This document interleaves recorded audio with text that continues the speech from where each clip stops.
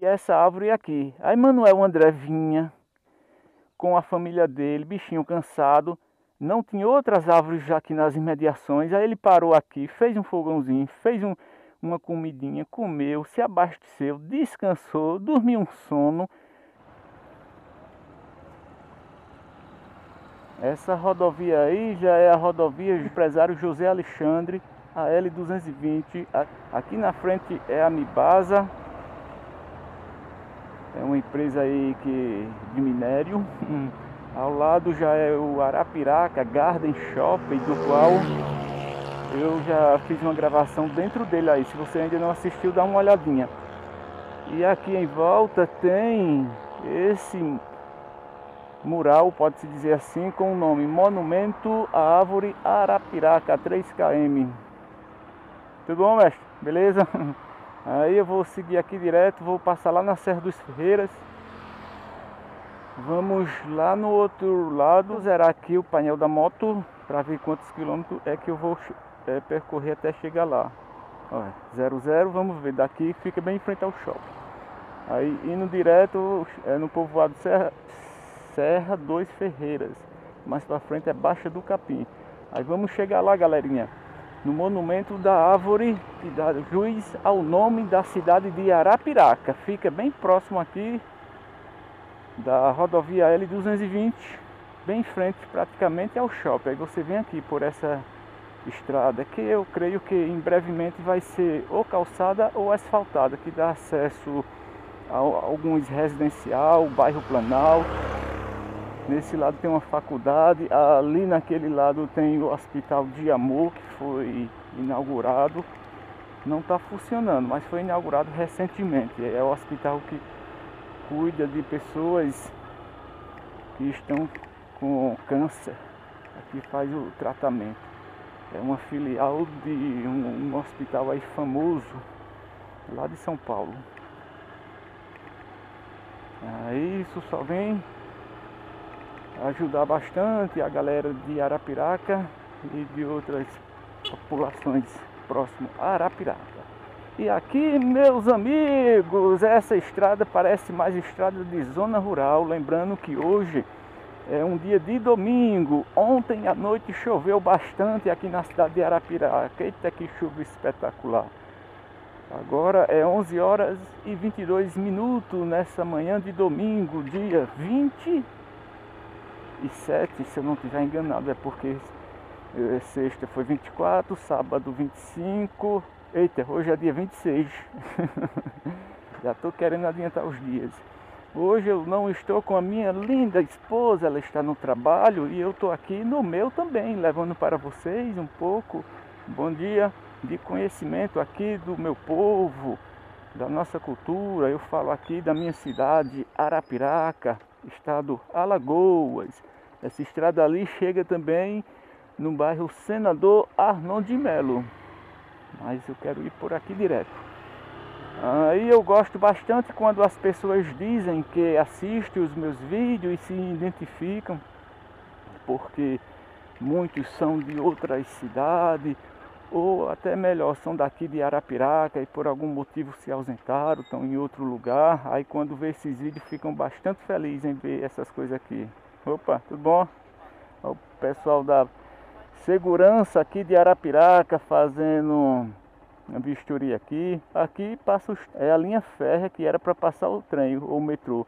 Mas atualmente está assim, ó, jogada.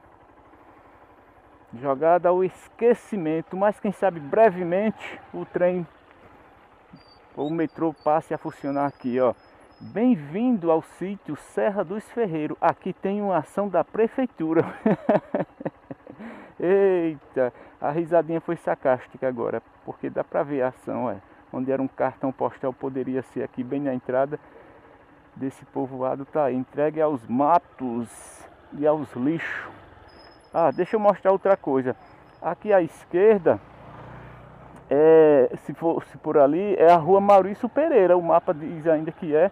E aquela estrada lá vai direto, passa lá, lá no Jair Barbosa em diante. Mas vai entender, né? Quem sabe um dia as nossas autoridades digam realmente eu vou investir na minha cidade para ela ser um cartão postal de Alagoas, porque Arapiraca é a segunda cidade maior do estado. É uma cidade bem desenvolvida, onde o povo vive do comércio, da prefeitura, das indústrias e da agricultura também. Aqui ainda as pessoas ainda plantam bastante fumo, mesmo que os vendedores de fumo, quando eu vou filmar a feira, reclamem que não está tendo muito valor o fumo, mas muitos ainda vivem do cultivo do fumo e outras indústrias por aí. Aí é bom a gente sempre frisar essas coisas, que Arapiraca sempre está de portas abertas, caso você empresário de fora quiser vir investir na mesma, venha para cá. Essa é a escola de ensino fundamental Bernardes Silveira, é o que deu para ler dali. Aí vamos por aqui. Aqui diz que é a Avenida Pedro Balbino Sobrinho, bairro Planalto. Aí eu não entendo mais nada, porque dizem que é Serra dos Ferreira, agora é bairro Planalto. O importante é que eu estou mostrando aí para vocês. De novo a galerinha aí no terceiro batalhão de polícia fazendo a minha escolta por aqui. Deus abençoe a cada militar que está assistindo esse vídeo, de preferência e todos os militares e civis de um modo geral desse nosso Brasil. Ó, aqui tem um monumento de uma cruz. Os historiadores aí devem entender mais do que eu. Se para que o sentido dessa cruz. Eu sei que aqui no outro lado tem essa outra igreja. Eu sei que antigamente isso aqui era só matagal. Agora ó, já fizeram esse residencial aí com essas casas. Vocês veem as estradas assim sujas porque choveu e arrastou bastante entulhos, metragem. E aqui à direita, opa, tudo bom? É uma casa de farinha, essa é das antigas. Não sei se está nativa ainda, mas é uma casa de farinha. Ó, aqui a rua já ficou calçada porque foi o pessoal aí desse residencial que fizeram essa casa aí para vender. Uma média de uma casa dessa é de 120 até 150 mil reais. Isso para vender financiada pela Caixa. Opa, beleza? Caso você tá com dinheiro e queira comprar uma casa dessa à vista, ainda sai um belo um desconto, porque se for vendida uma casa dessa por 150 mil reais, é 7.500 que o corretor cobra a comissão dele, porque ele vai tomar frente, vai ser o intermediário entre você e o banco. Aí os corretores aqui é assim que eles ganham, 5%. Se a casa for 125 mil ou 130, você calcula que dá mais ou menos isso, de 5 a 6 mil reais, ou mais, né? Mas também os homens trabalham, não sei como, mas eles trabalham, porque se não fosse por isso, ninguém queria a profissão de corretor. Eu já fui me informar para fazer, mas é uma burocracia terrível. Mas esperar em Deus que dias melhores virão, né? Opa, tudo bom? Beleza? Aqui, meus amigos, é tipo essa parte é um residencial que antigamente era só matagal, agora só tem casas novas para vender. Aí essas casas, ó, o tamanho do terreno eu creio que é 18 por 7, o terreno todo. E as casas devem ser o que? Uns 10 a 12 metros de construída. Dois quartos, uma sala, uma cozinha e um banheiro. Brevemente eu volto aqui para gravar algum vídeo aí dessas casas com os valores para vocês. Sim, por isso que eu estava dizendo, caso você tá uma casa dessa de 130, você quer falar diretamente com o dono, você já fala e você já vai economizar de 5 a 6 mil reais, que não vai ter corretor no meio, né? Agora, se for financiado, eu lhe aconselho que você procure um corretor, porque o banco eles não facilita para ninguém. Você vai no banco, é cinco dias para você ser atendido. Fala, Bob! Opa! Cinco dias para você ser atendido e mais cinco dias para você entender o que eles querem dizer, que é uma burocracia terrível. Aí, se você não entende muito, tipo eu, eu lhe aconselho que você procure um corretor de sua confiança, porque parece que já é uma parceria que o banco faz com esses corretores para deixar dificultoso para a pessoa normal não conseguir ir direto financiar uma casa pela caixa. Isso é aqui, né? Não sei na sua região de onde você está assistindo esse vídeo. E aí, mestre, beleza? Tudo bom, né? A chuvinha foi abençoada essa noite. Aí, meus amigos, estou já chegando na parte da árvore memorial Arapiraca. Eu sei que eu quero o título do vídeo eu vou colocar assim, árvore Arapiraca, algo desse tipo.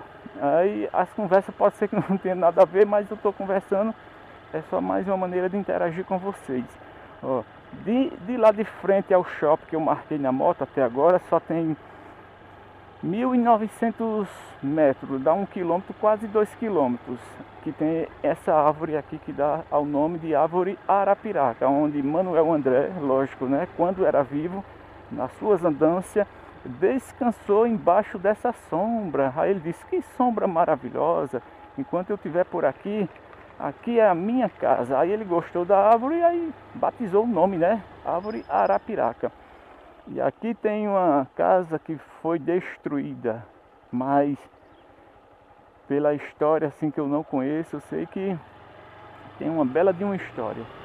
Sim, aí esse lugar que eu estou indo aqui é meio esquisito, não aconselho a você vir sozinho não.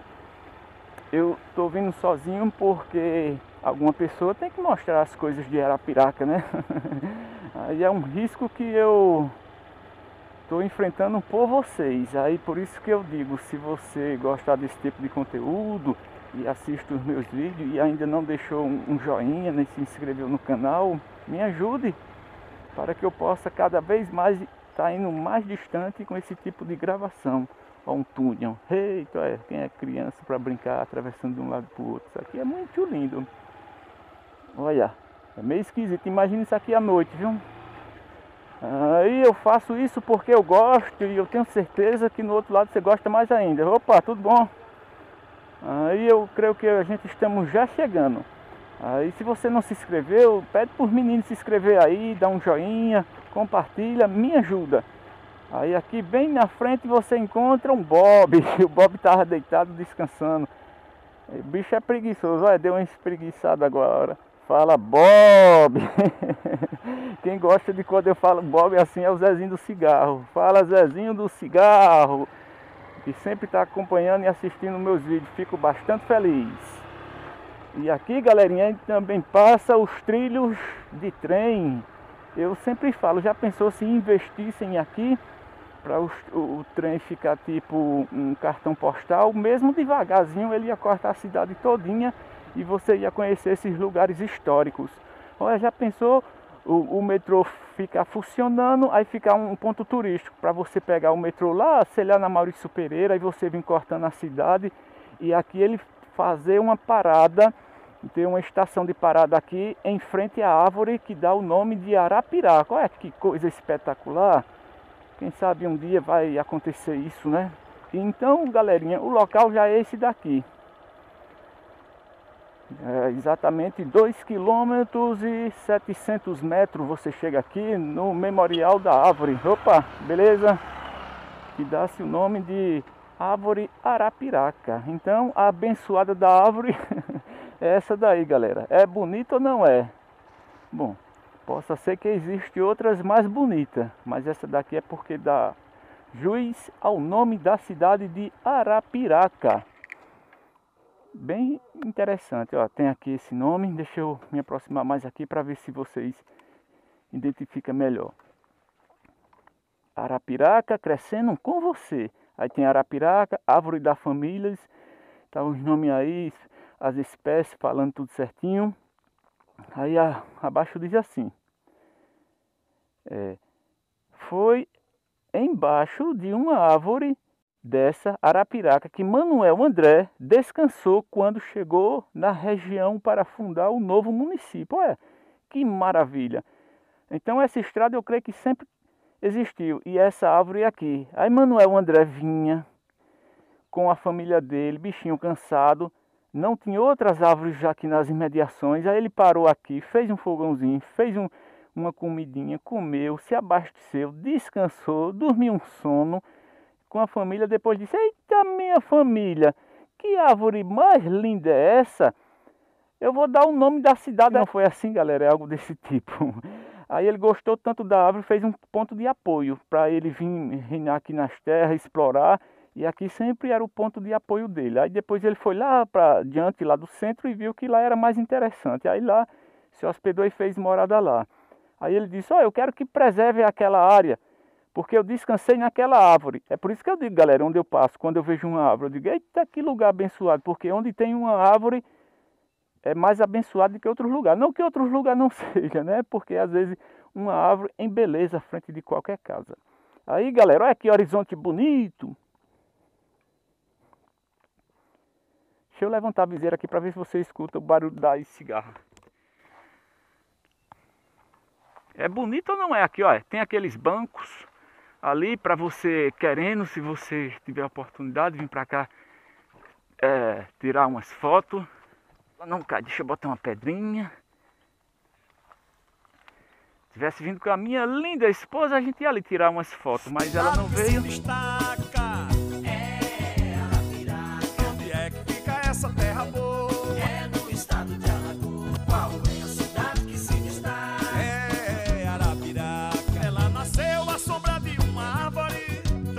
Transformou-se numa vila, que beleza, povoado depois município e metropolitana, muito em breve concerto. É a terra de Zezito Guedes, de historiador. Escutou qual é a cidade que se destaca? É Arapiraca. E onde é que fica essa terra boa? É no estado de Alagoas. Qual é a cidade que se destaca? Lembrando que de lá de onde eu vim até agora dá 2.700 metros ou 2,7 quilômetros de frente ao shopping até aqui, olha que estradas bonitas, meus amigos. Isso é muito lindo, isso é coisa de Deus. Aí você quando quiser vir para cá, tirar foto para postar nas redes sociais, você vem para cá. Você fica ali mais ou menos da moto e vai ter essa vista aqui, ao lado dessas lindas barragens, que deveria ser logo construída uma praça aqui para se tornar um ponto turístico. Mas até o exato momento não foi construído Aí, meus amigos, vou ali na frente finalizar esse vídeo. Aí espero que vocês gostem desse vídeo de hoje. Você que não sabia, essa é a árvore Arapiraca que dá ao nome a cidade de Arapiraca. Então vem pra cá, meus amigos. E se você gostar desse tipo de conteúdo, em outra oportunidade eu gravo mesmo. Olha que barragem bonita. Deve ter bastante peixe por aqui. Nesse outro lado tem essas barragens. Essas terras, se não for, mas é de conhecimento do meu amigo José Silva, que está em São Paulo e é natural daqui, sempre assiste os meus vídeos. Essa região aqui ele conhece bastante. Olha que lago bonito. Eu vou aqui e vou girar para vocês verem um pouco. Aqui essa ponte bonita. Ó, oh, se... Olha que ponte linda. É ponto que fala é essas águas correndo. Escuta só o som. Isso é muito lindo, mano. Natureza. É coisa de Deus. Você sente aquele clima mais gostoso, mais tranquilo.